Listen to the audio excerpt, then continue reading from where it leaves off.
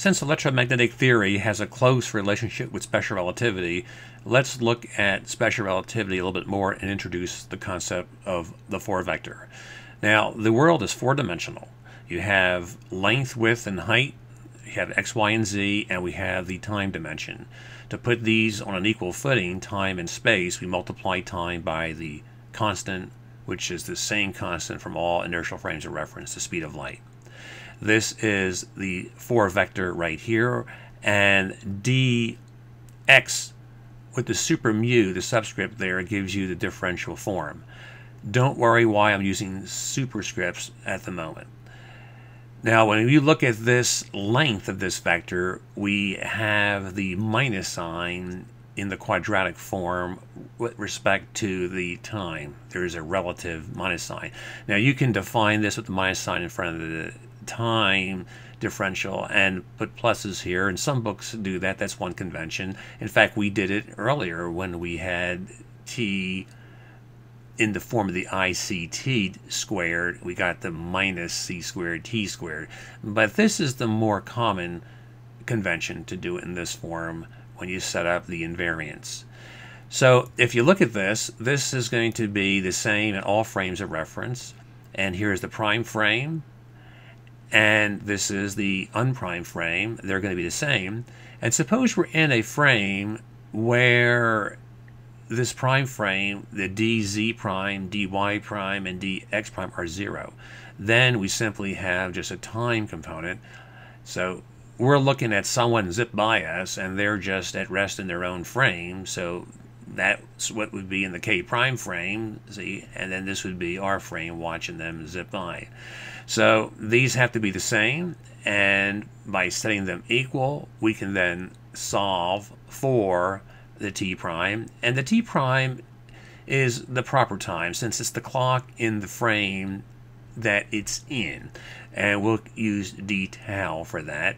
And when we do that, we can divide by the uh, c squared and pull the c squared out. And when you do that, you get this nice appearance of the c squared factored out with the 1 minus v squared over c squared because c dx squared dt squared, this is the velocity x squared plus the velocity y squared plus the z squared, and then a minus sign overall. So that's your v squared over c squared, and the compact result, when you take the square root, since the c squares drop out, you get this. And we already have seen this. This is nothing more than the proper time and the laboratory time relationship. Remember that d tau we called earlier t naught and then dt would be t, so this is what we found earlier, and this can be thought of when you write it in this fashion, the square root under the d tau. This could be thought of as the differential version of the proper time time equation. So here is the four dimensions again, and what we're going to do now is take the derivative with respect to tau, and that's the proper time that we're using. And this is a very deep idea. Einstein did this, and it turns out that doing it this way, when you set up your momentum, you get the conservation of momentum, and you get the truly covariant forms, as we say, in special relativity, where the equations look the same, the physics is the same in one frame to another. So from this point of view, you might say, well, you know, if I take the derivative respect to tau, tau is magic. That is the, the invariant, you know, proper time. So let's do it from aesthetic or philosophical uh, arguments. And then if we do that, we get the velocity, the four velocity, the four vector for the velocity. And you simply take the derivatives and we will substitute for the d tau what we have up here. d tau is simply dt, hit it with that square root thing. So if you do that, you hit the dt's with the square root, then they're your d tau. So all the d taus get replaced by, in the denominator, dt's being hit with this square root. And doing that, we arrive at the 4 velocity. These are simply uh, your velocities in the x, y, and z direction, dt, dt is 1, so 1 times c there, and then your velocities in the spatial uh, dimensions.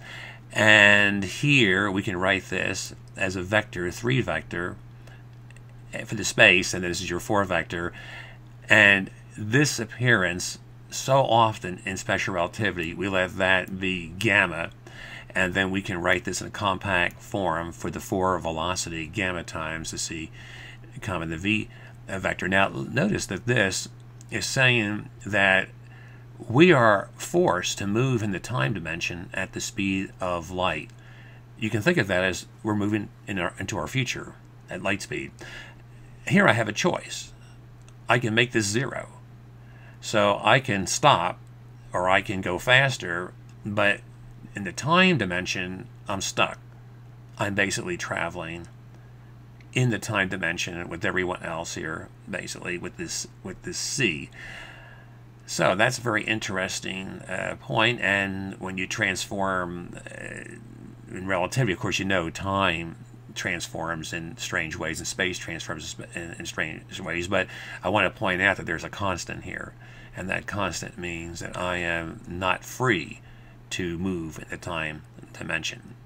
And that is the U super naught. In other words, the zeroth component. We like to think of this as the zeroth component and then the one, two, three components for the space. Then the four momentum is, by definition, the mass times the four velocity, and this is the form of the momentum that's relativistically correct and gives you conservation of momentum. Well, let's look at these four vectors again and let's define now the four vector with the lower subscript. Now, these have profound means in tensor analysis. This is called a contravariant vector, and this is a covariant vector. And then when you look at those, see they're basically the same except for a minus sign in the spatial dimensions. And then when you take this four vector dot product, where you basically are summing all of them, the minus sign kicks in automatically because one is a superscript and one is a subscript.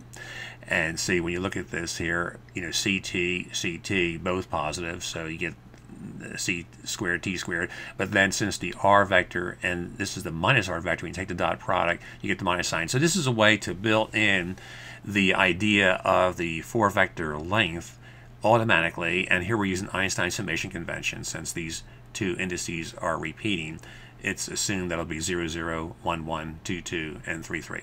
When you do the uh, this kind of thing for the space, the four vector space time, then you get the invariance, the proper time squared. When you do it for the four momentum, we do the same thing. Let's just go ahead and check it out. We'll get the gamma squared, we'll get m squared c squared, and then minus m squared v squared and if you look at this and pull out the m squared uh, c squared, then what's left here is 1 over, uh, 1 minus rather, v squared over c squared. It'll cancel out, and you get an invariance again. So this is very, very profound in special relativity. The four vectors are invariant. Uh, you get a constant. So the four, the four vector for the space-time, the length squared gives you tau squared, the proper time squared, and the four momentum when you take the length, you get the mass squared times the c squared, both here constants.